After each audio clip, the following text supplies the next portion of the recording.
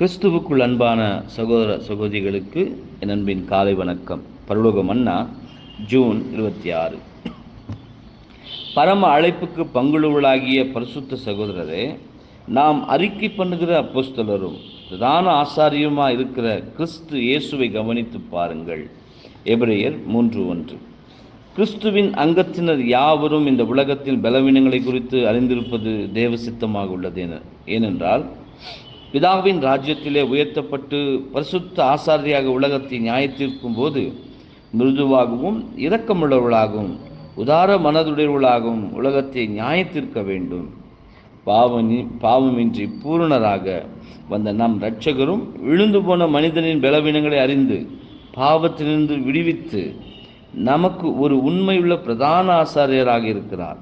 அதனால் அவருடன் இணைக்கப்பட்டு ஆசாரியராகவும் ஆட்சி செய்கிறவர்களாக இருப்பவர்கள் யாவரும் பாடுகளை அனுபவிக்க நமது பிரதான ஆசாரியரைப் போல இருக்க வேண்டும்.